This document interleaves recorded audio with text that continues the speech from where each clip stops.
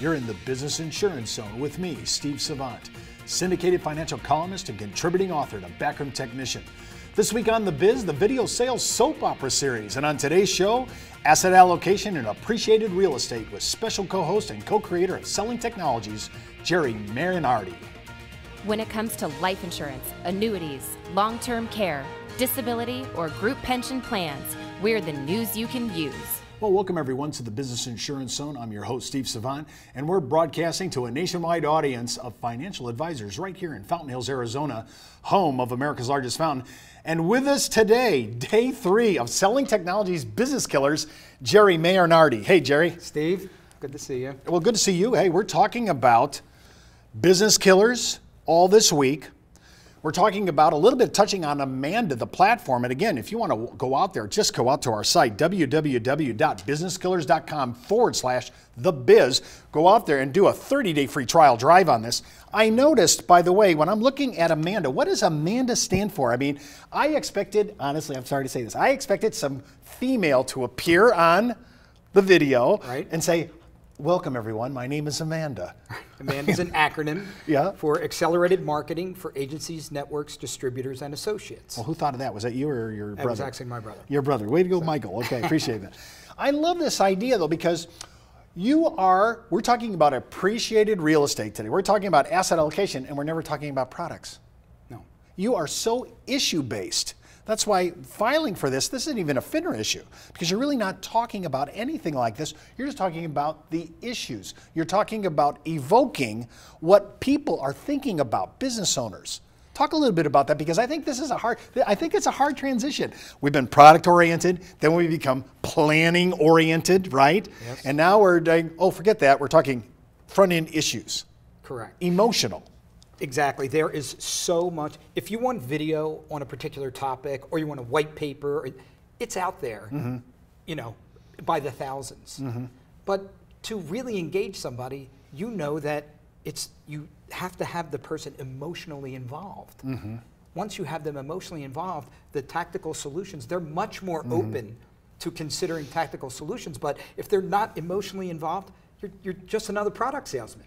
You're just someone out there with something to sell. And let's face it, the industry has had a black eye since 2008, and the halo effect reaches into insurance and financial oh, services. So, how do you take the curse off of that? Because mm-hmm. honestly, our products are great, mm-hmm. but don't talk about products.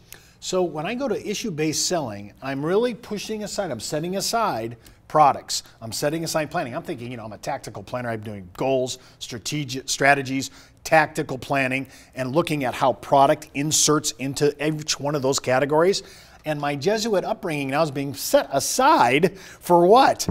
Issue-based selling, talking about the emotion of a client.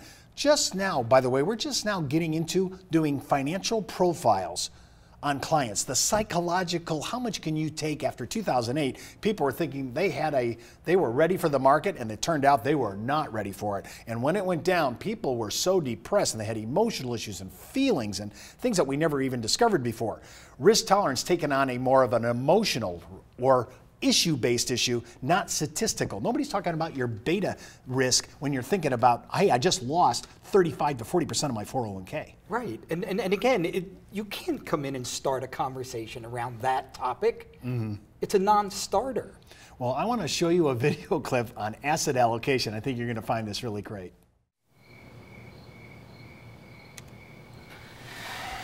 What's wrong, honey? Can't sleep? No, no, I'm fine. I, I'm sorry I woke you. Oh, Charlie, talk to me. Well, it's probably nothing, but. But what? Well, you know, I've been talking about retiring and selling the business in a couple of years. Yes, and you said you contacted some companies and that the prospects look good. Mm hmm. Until this international group came into the picture. What group? Oh, they're huge, multinational. And they have plenty of money to invest in marketing and R&D. What's that got to do with our retirement? Honey, they're undercutting our prices.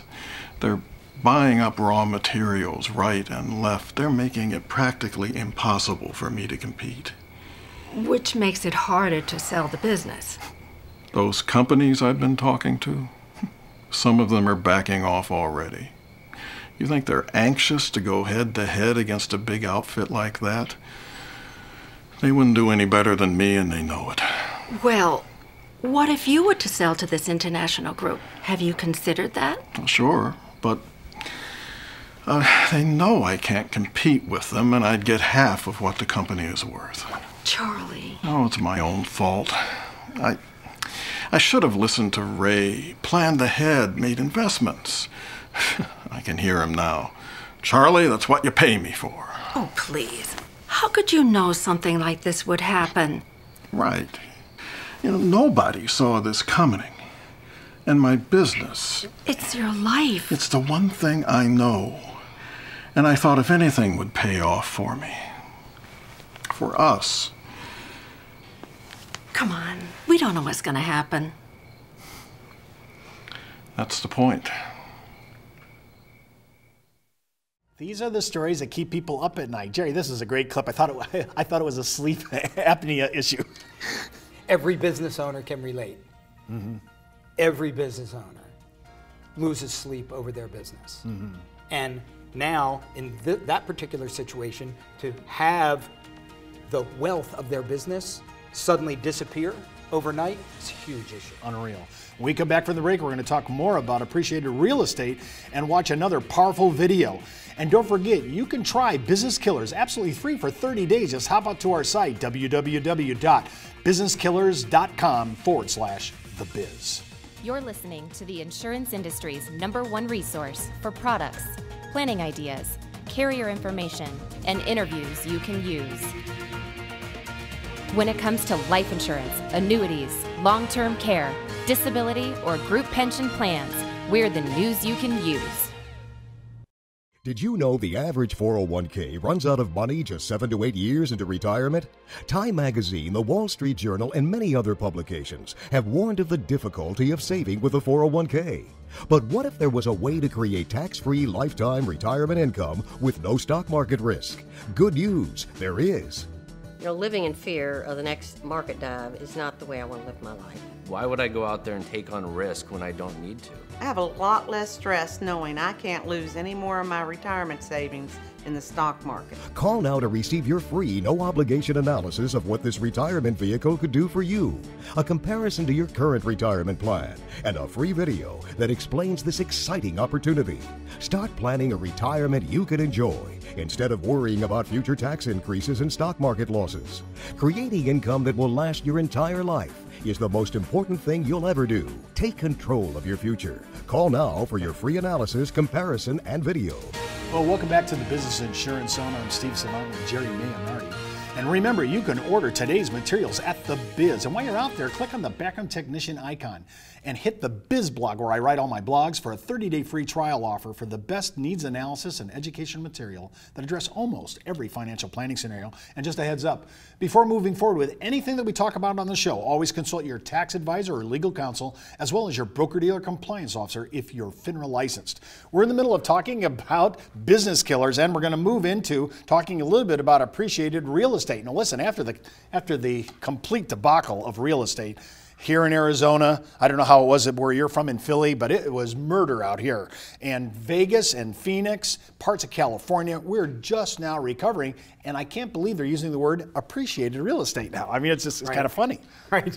Well, again, people aren't considering how appreciated real estate affects their overall estate planning needs Mm-hmm. and how it's going to impact them now that, God willing, the uh, Recovery, values, yeah. are, values are starting Yeah, to go up. I hope. Hopefully, you're right. I'm holding my. I'm holding my breath. Yeah. But it, but really, a lot of our planners are, really taken back because real estate, appreciated real estate, is the bulk of some estates that are so big. And after this kind of devaluation approach, now things are kind of on the upswing. I've seen commercial real estate kind of making a rebound, residential housing, and some, not all, some agricultural businesses are now starting to see a little bit of flatlining. They're not going down; they're flatlining, kind of go, it's getting ready to go up.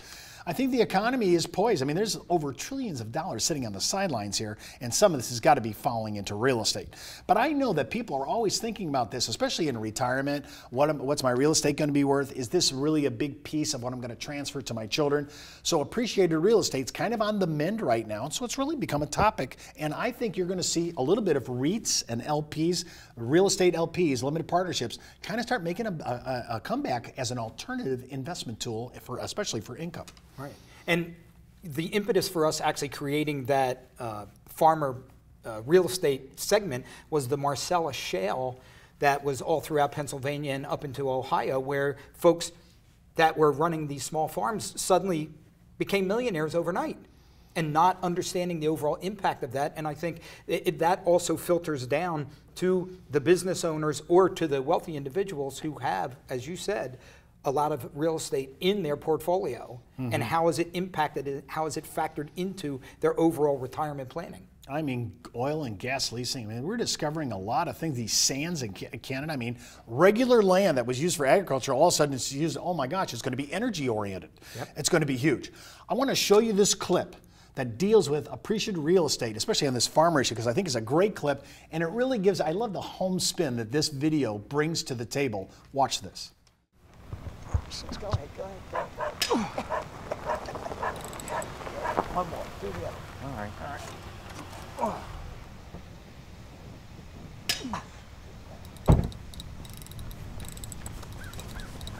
Hey, Dad. Steven, I got some news. Wait, wait. Have you got any water in the truck? Yeah, I got some. I'll give it to you in a second. Listen, Jonathan Warner just left the house. Yeah. He dropped by to let us know that his dad's selling the farm, and he wants to know if we're interested. I just saw Big John a few weeks ago. He, he didn't mention anything. Said things were going pretty good this year. Well, I think Jonathan and the rest of the kids just didn't want to deal with the ups and downs of the business anymore. After their folks talked it over, they figured they'd sell out now. Well, Jonathan's got that marketing degree. I guess he's going to give that a shot. I guess. That's a shame. You know, that family's been farming that land for 50 years, I bet. Yeah, at least. Uh, did he say what they were asking? 800,000 but they're going to sell the tractors and the rest of the machinery separately. That's a lot of money. Uh. I think I'll give Big John a call. Yeah, but you know, Dad, if Zach and I are going to farm, we're going to need more land. You know as well as I do, the only way to ensure that land's going to be available is to own it. Yeah, we're going to have to think about financing. Remember a couple years ago when Dad got sick? I mean, we had a really rough time of it. Yeah, well, let me call the bank and set up a time to go in and talk to them about it. You boys in? All right. Uh. Tractor first, phone call second. and where do we find the money when it's Dad's turn to retire? I mean, how does that happen without us having to sell out too?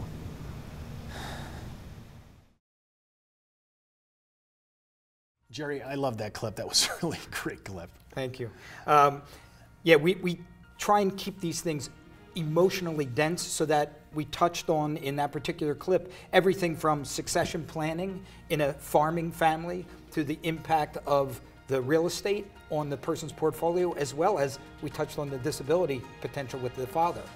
I love all that. Well, remember, you can watch our today's show and all this week. Just hop out to our site at www.thebiz.tv and follow me on Twitter, Facebook, and LinkedIn.